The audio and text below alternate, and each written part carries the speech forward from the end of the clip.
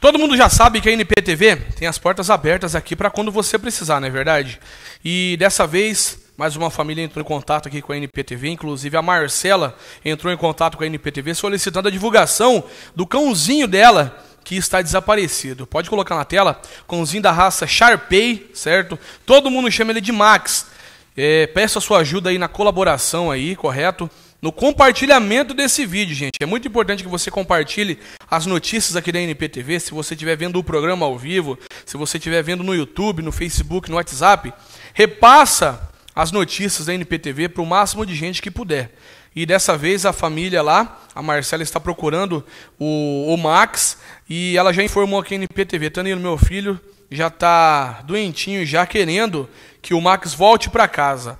Ele sumiu ali na rua Japão, tá bom, pessoal? Ali na perto ali do Jardim Bela Vista, Jardim Santo André, naquelas imediações ali, tá ok? Então eu peço a sua ajuda para compartilhar essa notícia aqui, para que a gente possa juntos localizar o Max que deve estar tá perdido aí para a cidade, não é verdade?